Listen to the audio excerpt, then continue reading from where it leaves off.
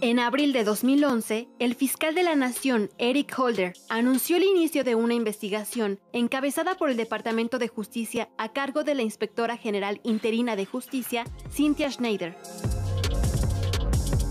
Mientras se desarrollaba el escándalo, México registró el año más violento desde el inicio de la política de lucha contra el narcotráfico que inició el presidente Felipe Calderón el Congreso de Estados Unidos también presentó un primer informe que reveló que el objetivo principal de la operación fue el rastreo de las armas e información del cártel de Sinaloa que dirigía Joaquín El Chapo Guzmán. Pero sería bueno saber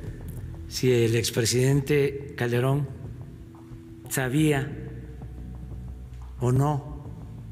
lo de la entrada de armas en el operativo de Rápido y Furioso